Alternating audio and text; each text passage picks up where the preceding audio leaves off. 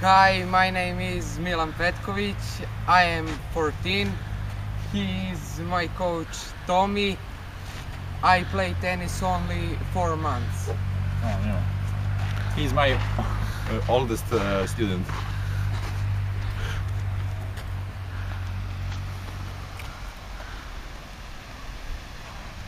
Ajmo, postavim backhand odmah. Može? Ajde. Idemo. Daj mi u backhand, šalji lopte. Ajmo ponovo. Idemo. Dobra. Ajmo, gađamo marker. Tako je. Ajmo. Nazad. Dobro, ne padaj na leđa. Ajmo. Odlično. Ajmo, izvuči se. Dobro. Backhand. Nije loše. Ajmo, forehand. Dobro, daj mi malo spina i izađi u aut. Ajmo. Tako je. Ajmo forehand, zamah. Tako je. Ajmo backhand. Odlično. Ajmo. Dobro, to je imalo i spina. Ajmo. Tako je. Ajmo, zamah. Osnova se na zadnju nogu pa na prednju priđi. Napred na loptu.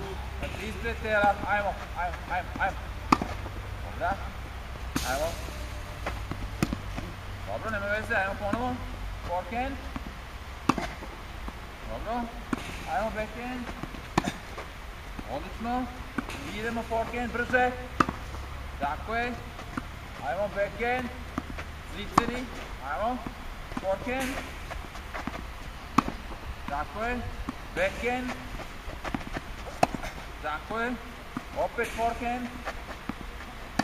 Dobro. Idemo backhand. Dobro, priđi na servis liniju, ajmo drive. Forehand, backhand, tu. Malo možeš korak nazad. Može. Idemo, drive, forehand. Tako je, drive, backhand. Ajmo. Budi ready. Ajmo, idemo forehand. Dobro. Ajmo backhand. Daj mi zamah backhanda. Ajmo. Dobro. Ajmo. Bravo. Ajmo forehand. Brzo se vrati. Ajmo. Tako je. Ajmo. Dobro, dobro.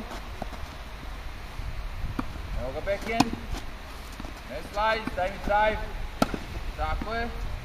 Ajmo backhand. Odlično. I forehand. Bravo. Dobro, bravo.